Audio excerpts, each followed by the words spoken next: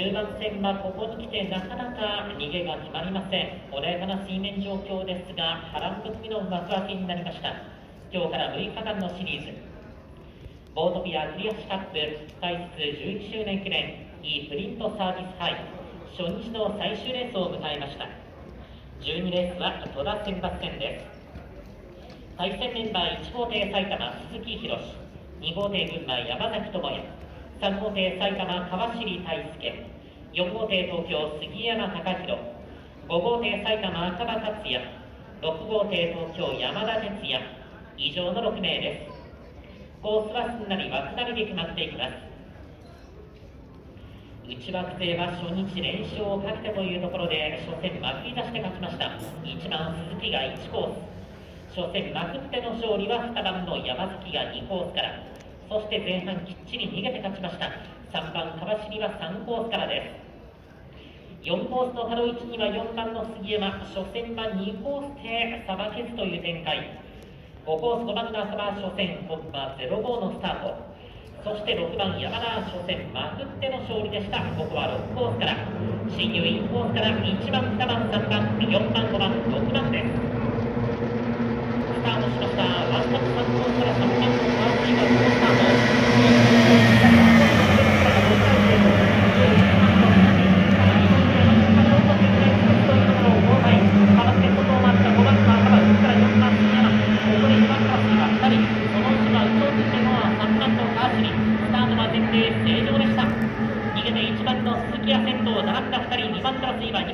4番杉山先にまでもちょっとこれがだいぶ流れ気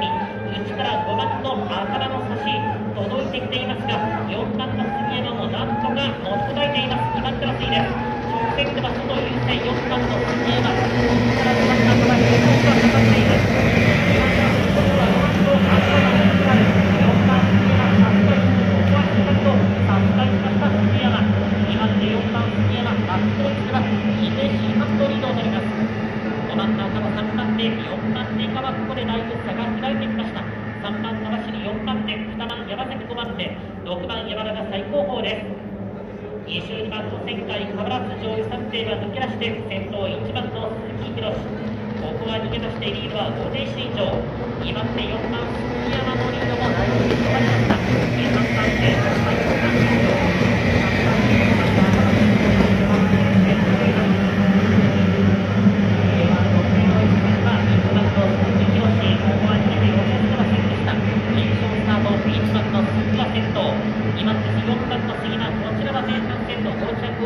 挽回してきました。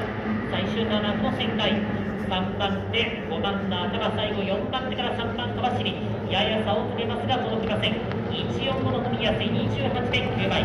先頭1番スキーボーリング4番杉山これ